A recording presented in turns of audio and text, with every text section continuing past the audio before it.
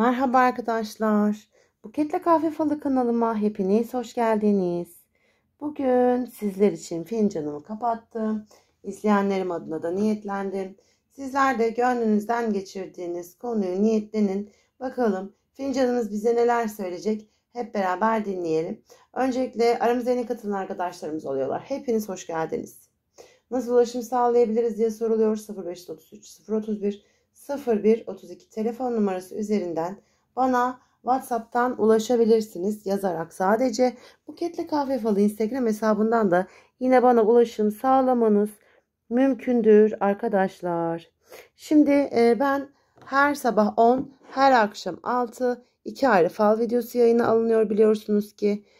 Kapatırken izleyecek arkadaşlarımın gönüllerinden geçirdiği ne varsa gerçekleşsin inşallah diye kapatıyorum. Şimdi sizlerle de paylaşıyor olacağım. Evet. Şimdi koca bir göz var. Koca bir tepe var. Hani görebilen görüyordur. Evet, şöyle yaparsam mı görünür acaba bilemedim. Evet arkadaşlar şu an daha iyi görünüyor bence. Ee, bu göz sizin ağırlıklı oldu. Bir de bildiğiniz göz yalnız şöyle bakılınca uzaktan kocaman bildiğiniz gözümüzü çıkartıp oraya yapıştırmışız gibi tepe bir şey. O tepenin içinde sivrilmiş bir göz içi var. Bebeği var. Ve o, o kısma bakın zaten inanılmaz sıkıntılı. S harfindeki bir arkadaşımızın 52'de yazıyor burada bu arada. Böyle iskelet yapımızdaki o çenemiz vardır ya. İskelet gösterirler fende falan. Tam olarak öyle bir şey görüyorum. Orada bir iskelet var 52 yazıyor. Sanki böyle S harfi var orada. Çok çirkin çirkin bakmış. Şimdi ben bir fincanın geçmiş enerjisi varsa mutlaka dile getiriyorum. Arkadaşlar burada da şunu söylemek isterim size. Şimdi bazı çizgiler çizilmiş ama siz o çizgileri hep zorlamaya çalışmışsınız. Daha fazlası olsun, daha fazlası, daha iyisi, daha çoğu derken derken Kendinizi inanılmaz yormuşsunuz. Tabii ki de ilk başta ben geçmişten başlıyorum. Bunu da aramıza yeni katılan arkadaşlarım için açıklama yapayım. Arkadaşlar bizi biz yapan şey kesinlikle tecrübelerimizdir, yaşadıklarımızdır. O yüzden ben bir fincanın geçmiş enerjisi varsa mutlaka dile getiriyorum. Öyle bir yorumcuyum. En azından bunu bir açıklayayım. Şimdi geçmişte demişsiniz ki benim çizgilerim artık belli. Ben bir daha da bu çizgilerin üstüne gitmem. Hayır. Benim sınırlarımda yapabileceklerim de bunlar demişsiniz. Ama yine kendinizde yüklenmeyi ihmal etmemişsiniz. Dolayısıyla bir yola gidilmiş gibi görünüyor. Çizgiler falan çekilmiş ama yok. Siz yine yine yine ne yapayım daha fazla ne yapsam acaba diye kendinize çok fazla yüklenen bir siz şeklinde çıkmışsınız. Bu insanlar hem bir ters tepmiş hem bir nazar enerjisi almışsınız. Yani iyilikten varaz doğmuş mu? Evet doğmuş diyebilirim. Baya önümde duruyor şu an öyle bir hikaye. O yüzden de diyebiliyorum ki siz iyilik yapayım derken insanların nazarını kendinize kötülüğünüzü yapıp gelmişsiniz gibi düşünün bunu. Şimdi bu iskelet yüzlü bir insan görüyorum. Bakın çok zayıf. Hatta geçenlerde de bir ara bir falımda böyle bir örnek vermiştim. Çok kendime de şaş yani gülmüştüm hatta. Siz de isimlerini yazmışsınız. Şunun annesi, şu sanatçının annesi gibi. Çok zayıf, elmacık kemikleri aşırı çıkık, iskelet gibi duran bir tane insan yüzünden bahsediyorum. Bu bildiğiniz çok aşırı zayıf, yanakları çökük olduğu için de olabilir. Beyaz tenli olarak vermiş ya da zaten aslında iyi niyetli gibi görünüp de sizi sürekli takip ettiği için iskelet gibi vermiş olabilir. 52 yazmakta S harfi görmekteyim o kişiye dair. Şimdi sizin konuşmalarınız olmuş ara ara ara ara ara ara ama o insan her zaman size yapacağını da yapmış. Şimdi şöyle Öncelikle şunu söylemek istiyorum. Bir ahtapota dönmüş müsünüz? Valla tebrik ediyorum sizi. Yani kendinizi mutsuz etmek için daha fazla nasıl çalışırım deseydiniz işte böyle diye örnek gösterilesi bir kendinizi ahtapota çevirme haliniz var. Çevrenizdeki insanları sürekli sırtladığınız için sanki siz o insanları hep sırtlamak zorundaymışsınız gibi görev belirlemişsiniz. Eylül ayınızdaki olay her neyse bunu Ekim'de de devam etmişsiniz. Bir masa görüyorum. Herkesi toplamışsınız. Torun tombalak, arkadaş, dost, mahallece neyse mahalle. Konunuz neyse arkadaşlar.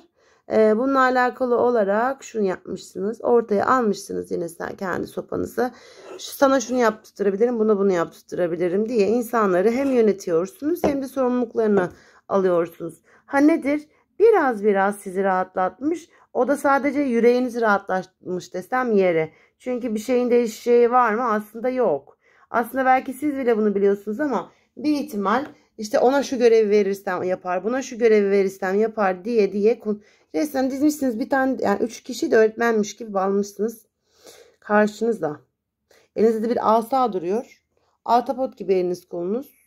Şimdi onunla ilgili ne olmuş? Evet en azından içiniz daha rahat. En azından siz yön belirlemişsiniz. Köprü kurmaya çalıştığınızı görüyorum arkadaşlar. İstanbul Boğaz Köprüsü gibi adeta iki tarafta da bir şeyleri dengelemeye çalıştığınız çıkmış. Şimdi geçmişteki bu hani sen şunu yap ben bunu yapayım dedikten sonra bir bekleyiş süreciniz çıkmış ki bu bekleyiş 10 gündür var. Köprüyü bu arada 15 gün öncesinde sanki kurmuşsunuz gibi görünüyor. 10 gündür devam eden bir bekleyişiniz var. Güzel de gelişmeleriniz var. Bakın şurada yolunuzda çıkmış parayla alakalı. Hani daha önce konuşmuşsunuz olmamış bir kere denenmiş başarısız olmuş. Kesinlikle üçüncüsünde o parayla alakalı o konuya gidilecek ve başarılacak deniliyor. Falınız bana bunu demekte. Ha nedir? E, kesinlikle resmi süreciniz de var. Yani özellikle şurada Ekim diyelim. Ekim'in 20'sinde başlamışsınız o resmi süreci diyelim. İşte Kasım'ın e, artık ne 15'ine geçtik en azından yaraladık arkadaşlar. Kasım bile geldi gidiyor gerçekten. Ee, daha dün gibi ilk günümüz. Çok hızlı geçiyor zaman. Bu da bana der ki Kasım sonunu bulacak hatta aralığın 10'unu bulabilir. Neyse ki aralığın 10'u gibi gördüğüm o süreçte siz 3 kişisiniz. Arkadaşlar bakın geçmişte her ne yaşadıysanız diyorsunuz ki ben bunu burada bırakacağım. Önüme bakacağım. Şimdi aralığın onu gibi gelecek ya size bu resmi sürecin sonucu. Size bir sonuç geliyor arkadaşlar. Şimdi bu sonuç diyeceksiniz ki bakın ben bunu özel e, bakımlarında da karşılaşıyorum. Yok ki mahkemem, yok ki benim e, bir resmi sürecim. Sonrasında deniliyor ki benim ceza e, işte olmuş e, faiz ile beraber icraya geliyorlar vesaire bir belge geliyor. Şimdi bu imza belki de sınava gireceksiniz o bile görünebilir bilmiyorum. Ama şimdi gündeminizde net gördüğüm şey şudur ki siz bu imza ile alakalı süreci bir 15 gündür ön safhaya, ön sıraya almışsınız olarak görüyorum arkadaşlar. Bu da şu demek. Meşgul olduğunuz şey zihninizdeki sınavınız demek. Ya da öyle bir gelişme, resmi bir imza gelişmesi yaşanacak ki kafanızda o var. Başka bir şey yok demek yani. Bunun dışında arkadaşlar şunu söylemek istiyorum. Bu imzalık durum aralığın onu gibi sonlanacak, rafa kalkacak ya da sonuç bulacak. Siz bunun sonrasında artık önüne bakmak isteyeceksiniz. Önünüze bakıyorsunuz ama iç tarafınızda kesinlikle diyor ki arkadaş ben nerede hata yaptım ne yaptım acaba? Yani sizin istikrarlı bir geleceğe baktığınızı görmüyorum. Evet 3 kişiyi sar, sarıp sarmaladığınız çıkmış bakın adeta. Belli ki ilgili olan 3 tane insan, 3 ortak, 3 anne, baba, kardeş bir şekilde sizin hayatınızda sizle beraber 3 kişi karı koca bir şekilde var hayatınızı önem e, sırası olarak dizdiğiniz. Ancak şunu söylemem mümkündür ki siz bu üç kişiyle konuşurken arkanızda geleceğe geçmişe bakıyor. Yani bu alacaksınız sonuç dediğim sürece bakıyor arkadaşlar. Bu Aralık ayı sizin adınıza biraz meşakkatli, biraz kararsız ve mücadele edeceksin şeklinde veriyor. Çünkü hem önüne hem arkana bakıyorsun geçmişine. Şimdi bir anahtar çıkmış arkadaşlar. Bu anahtar meselesi e, kesinlikle sınav olur. Kesinlikle e, belge de olur. Ha kesinlikle ev alıp satıp ev değişikliği ya da iş değişikliği yaşayabilirsiniz. Aralık ayınızda hem dengeleri sağlamaya çalışacak hem de bu anahtarla alakalı adımlarınızı atacaksınız demem çok mümkün arkadaşlar. Böyle görünmekte. Şimdi bununla alakalı olarak söyleyebileceğim şey şu. Ocak ayına doğru artık dimdik bir siz varsınız burada. Siz bu anahtarla alakalı etrafınız o kadar çok sarar yani sarmışlar sarmalamışlar bir sürü insan var. Yani sizin başarılarınız ya da sizin e, bu ev eğer çok fazla insanın gözüne gelecek ev bilginiz olsun. Enerji olarak çevrenizdeki insanların nazar enerjisini, konuşma enerjisini belki de çok fazla alıyorsunuz.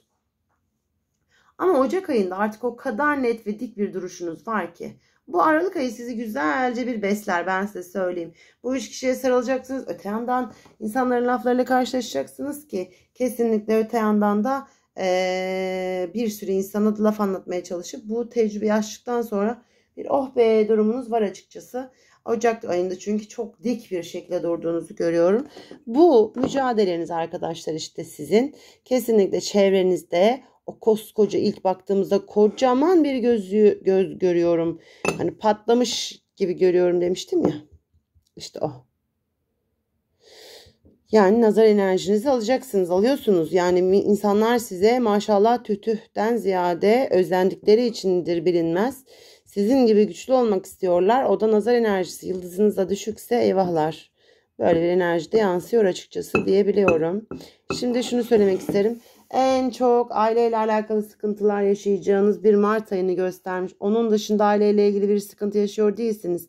Sıkıntı yaşıyorsunuz dedim çünkü özellikle sıra sıra dizilmiş sizin aile fertleriniz ama düşünün ki küçükten büyüğe. Ee, böyle bir bir kişinin sadece o kişi tek minnacık karınca gibi anahtar açar kasım da o ama. Yani şöyle düşünün e, mirasla alakalı bir olay olduğunu varsayalım bunun. E, bu mirasta da en büyük e, paycı aslında en küçük ve en uzakta hiç ilgilenmeyen e, birinde. Siz ailece aslında aklın yolu birdir diye bakıyorsunuz ya da diğer kardeşler bile hemfikir olabilirler. Yani onun hem ilgisi yok, onun hem yaşı küçük, o hem asla oralı bile değil. Kalkmış Anya'dan bahsediyor. Aslında sizin derdiniz Konya mesela. Yani bir de Konya diyenler 100 kişi ise o kendisi tek. Şu an bir örnek veriyorum sadece tabii ki de. Bu da aileyi etkileyen bir durum olarak çıktığı için bir sürü konuşmalar sonrasında sadece Mart ayı olarak vermişim arkadaşlar. Haberiniz olsun. Mart ayında aileyle alakalı böyle milletin Konya deyip de birinin hayır ben Anya istiyorum dediği bir ayrım var. O bir de o kadar küçük ve tek ki. Ama şey olarak etkili işte. İmzada payı çok büyük gibi. Onu da Mart ayından sonra açılacak olduğunu görüyorum. Bir de ağzı yamuk birisinden akıl da alıyor eyvahlar. Yani aslında ona verilen bilgiler doğru bilgiler de değil. Şimdi aşkla alakalı kara kaş, kara göz, çatık insan var. Parasının üstüne çıkmış. Böyle Y harfi duruyor. Y, S harfleri. Yıl yazıyor gibi arkadaşlar. Y, I, S gibi de L gibi de bu. E, böylesi bir kişinin e, kara kaş, kara göz bir kişinin e, sizin daha önce ona gidişinizle alakalı olarak bir kızgınlığı ve sizi kazanmaya çabalaması gibi bir durum söz konusu. Fevriymiş zaten kendisi. Bir de sizin gitmeniz onun gururu çok da inatçı yani çok öfkeli ve inatçı bir adam olarak çıkmış.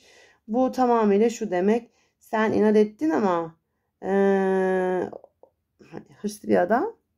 Hem gidişinizden mutsuz hem de sana hadi gel diye diyemiyor gururdan. Ne gereksiz bir gurur içerisinde sevgili beyefendi. Şu an öyle bir şey görüyorum gerçi. Parasını da almış kendine de güveniyor parası olarak.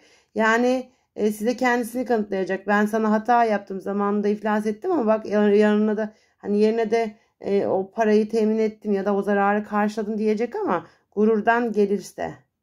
Ya da evlisinizdir ama hani o gururu var yani. Ama bunu aşacaksınız. En azından adam bunun için çok size hem öfkeli hem çok isteyen bir adam görüyorum ya. Gerçekten öyle. Yani diyeceksiniz ki hatta okuyorum da. Çok enteresan. Ben her falına mutlaka aşkla alakalı aslında gördüklerini de aktarırım. Ki ben kendim bizzat hatırlıyor ve biliyorum yeni aşk geliyor dediğimi, gördüğümü ya da. Hiç yeni aşktan bahsetmiyorsunuz diyorlar. Hep mi sülalece aile kalabalıklarından bahsediyorsunuz diyorlar. Oysa ki fal ne diyorsa o. Şimdi o sülale dediğim kalabalık gördüm hanenin ortası var ya. İşte o kuzeninizin düğünü falan çıkacaktır muhtemelen yani. Var çünkü bu enerji var. O yüzden arkadaşlar ben burada eğer ki hayatınızda biri varsa da çok öfkeli biri olacak. Yoksa da size kızgın anlamadım. Ya öfke sebebi sizin fark etmemeniz ya da öfke sebebi sizin inatçı olmanızla alakalı ama sonrasında beraberliğiniz devam ettirirken görmekteyim. İşle alakalı kafa kafaya vermiş konuşmalarınız var mücadeli olduğunuz bir yol olacak. Özellikle Şubat sonrasında Mart aylarını, Şubat-Mart aylarını hani böyle dönemsel bir şeye hazırlanırsın ya. Atıyorum işte yaza hazırlık için en son ay Nisan Mayıs'tır mesela hani falan böyle Haziran ayında sıcaklar geldi okullar kapandı falan dersin ya böyle onun gibi işte. Hani böyle e, sanki Mart ayı İşte Nisan için önemli olduğu için son çalışmaları Nisan'da yapar, Mart ayında yaparsınız gibi bir yoğunluğunuzun olduğunu ama tek düze devam ettiğinizi görmekteyim arkadaşlar açıkçası. İş tarafınızı kalabalık, yoğun ama devam eden bir yoğunluk vermiş. Ben görevliliklerimi aktarmaya çalıştığım tabii ki de dilimin döndüğünce arkadaşlar dinlediğiniz için de çok teşekkür ederim. Şimdi şunu da söylemek istiyorum her şeyden önce. Tabii ki de aramıza yeni katılan arkadaşlarımız oluyor. İlk kez dinleyen arkadaşlarımız oluyor. İnanın bana hepiniz çok hoş. Yani ben inanılmaz çok hoş yorumlar alıyorum. Hep gerçekten çok teşekkür ediyorum herkese. Dinlediğiniz, yorum yaptığınız için. Şimdi e, şunu söylemek istiyorum. Nasıl ulaşım sağlayabiliriz diye soruluyor. 0533 031 0132 telefon numarasından aşağıda bıraktığım WhatsApp linkinden e, ve Buket'le Kahve Falı Instagram hesabından da yine yazarak bana ulaşım sağlamanız mümkündür arkadaşlar. Şöyle e, ben süreç boyunca bugüne kadar hep her gün mutlaka yayınladık. Ve beraberdik arkadaşlar. İlk günden beri hala takip eden arkadaşlarım var. Desteklerini esirgemeyen arkadaşlarım var. İyi ki varsınız arkadaşlar. Ben sizlerden aldığım enerjiyle yoluma devam ediyorum. Yani o kadar güzel destekleriniz oluyor ki evet diyorum doğru yerdeyim. Doğru noktayı e, yakalıyorum veya doğru şeyi yapıyorum. Çünkü birisinin çok çok teşekkür ettiği şeye bazen o kadar alaycı bir bakış açısıyla yorumlar geliyor ki çok nadir binde bir. Anlıyorum insanın ne niyetle neyi yaptığını. O yüzden ben doğru yolda olduğumu sizler sayesinde devam ettiriyorum arkadaşlar. Anlıyorum. Ee, o yüzden de enerjiniz benim için çok önemli. Gerçekten iyi ki sizler de varsınız. Ben de sizlere çok teşekkür ediyorum. Süreç zaten maddi manevi bizleri yıprattı ve tekrar kış geldi. Eyvah vah vah durumlarımız da tekrardan artmaya başladı. Sağlığımız yerinde su yolunu bulacak. Bu iletinde kökü kurunacak, ya kuruyacak inşallah. inancım bu gerçekten. Sınavlarımız var elbette ki arkadaşlar. Yani nereden sınanıyorsak yeni kapılar açılacak inşallah. Benim inancım bu yönde. Böyle olmak, buna inanmak istiyorum. Buna ihtiyacımız var olduğunu düşünüyorum. Tabii ki de en yakınlarımızdan darbeler alabiliyoruz. Ama yarınlarımızdan umudumuzu yitirmememiz lazım. Yani kapanmış kapılarımız varsa bile yenileri mutlaka açılacaktır arkadaşlar. En yakınlarımızdan aldığımız darbede bedduadan ziyade sevdiğinden çıkıyor diyorlar enerjisi için. Gerçekten herkes ilahi adaleti teslim etsin. E, çünkü etme bulma dünyasındayız. Kim neyi yaşatıyorsa emin olun e, kendisi de yaşamadan aslında bu dünyadan göçmeyecek. Dolayısıyla şunu söylemek istiyorum ben size arkadaşlar. Şöyle Kalbinizi güzelliklerle öyle bir güzel doldurun ki her bir en kısa zamanda sizlerin olsun gerçekten. Kalp güzelliğidir insanın etrafına ne ver ne veriyorsa kalpten gelir. Öyle düşünüyorum ben. Sağlığınıza ve psikolojik sağlığınıza dikkat edin. Yarınlarınızdan umudunuzu yitirmeyin. Herkes kalbinin ekmeğini yesin. Ağzına kadar güzelliklerle doldurun kalbinizi ve tüm güzellikleriniz, o kalbinizden geçen tüm her şey, güzel olan her şey en kısa zamanda da sizlerin olsun diyorum. Bugünlük benden bu kadar. Dinlediğiniz için teşekkür ederim arkadaşlar. Bir sonraki videomda görüşmek üzere. Bağışta sağlıkla kalın. Hepiniz hoşçakalın.